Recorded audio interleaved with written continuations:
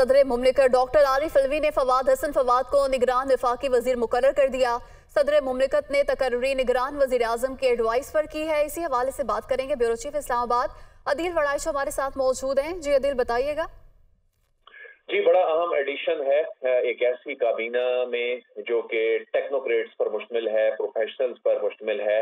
उसमें फवाद हसन फवाद, जो कि सबक ब्यूरोक्रेट हैं ग्रेड 22 के पाकिस्तान एडमिनिस्ट्रेटिव सर्विस के ऑफिसर के तौर पे रिटायर हुए और उनकी आखिरी जो बड़ी पोस्टिंग थी वो सेक्रेटरी टू प्राइम मिनिस्टर थी, नवाज़ शरीफ के ये प्रिंसिपल सेक्रेटरी रहे 2015 से 2018 तक ये इस अहम अहदे पर रहे। तो फवाद हसन फवाद, जिनके दौर में हवाले से और एनर्जी प्रोजेक्ट्स के हवाले से उस दौर में बड़ी डेवलपमेंट्स हुई। बहुत से जो मंसूबे जो कि प्राइम मिनिस्टर ऑफ़िस से इनिशिएट हुए थे और उन तमाम चीज़ों को ये खुद हैंडल कर रहे होते थे। तो ऐसे में इस बात का इम्कान है कि इनका जो प्रोफ़ाइल देखते हुए इनको रेवेन्यू और एनर्जी से मुतलिक कोई पोर्टफोलियो जो है जी बहुत शुक्रिया।